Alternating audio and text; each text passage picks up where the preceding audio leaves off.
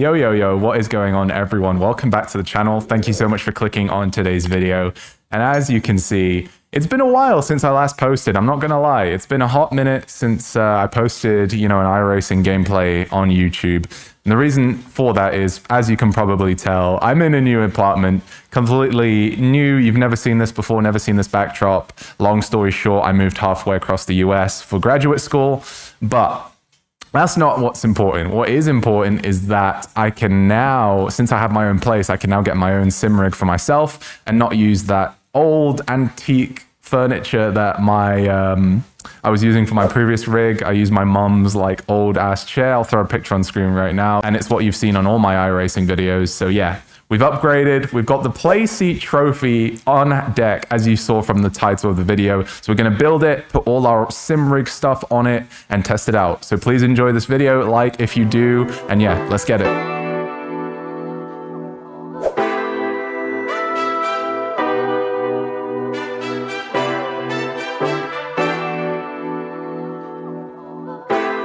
Right, so as you can see, all the parts have been unboxed, and it's not as big as I thought. Like, there's not as many parts as I thought. I think that's the right way of putting it.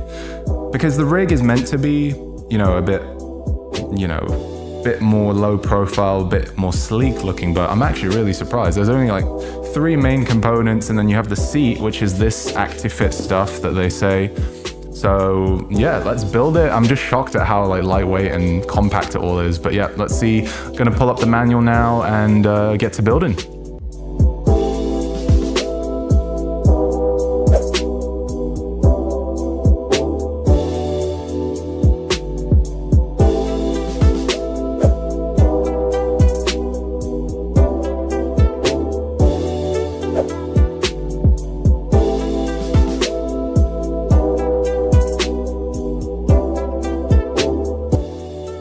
Rightio, as you can see, the main frame is pretty much done, and it's tiny.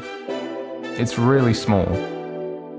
I'm I'm not I'm I mean I'm pretty tall, right? I'm just worried I won't be able to fit in this damn seat. It just feels like way too short. I don't know. And I put it on the max length as well, so we'll see. I just like looking at it and like knowing I'm like rather big, I'm a bit worried, but yeah, let's see. Let's continue building and then we'll see if we can fit in the damn thing.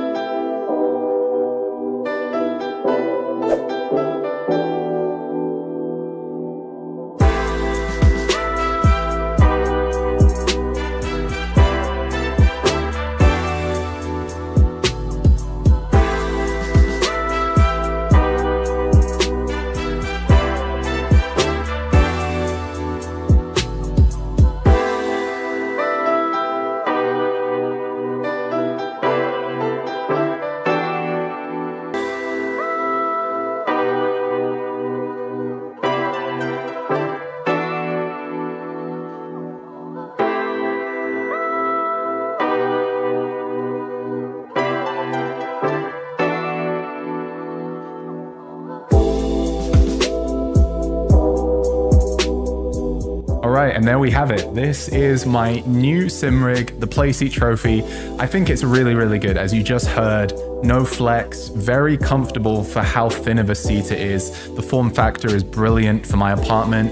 You know, it doesn't take up too much space and it looks the part. It looks like something you know, it looks like a piece of furniture. Obviously, with the sim rig stuff on it, it kind of gives it away. But if you didn't have a wheel on there, I wouldn't, you know, bat an eye and think it was just a regular chair, especially like because my desk is black and everything kind of matches.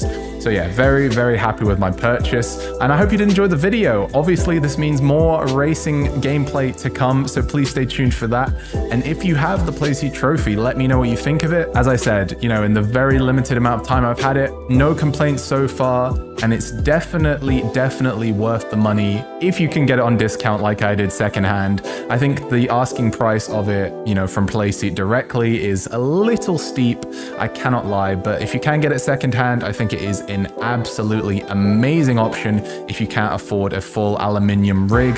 Uh, if you don't have the space, you the money, I think this is a great alternative. So yeah, I hope you did enjoy the video. If you did, please leave a like. And of course, subscribe if you like my content. I'll see you in the next video. Have a great rest of your day. Peace.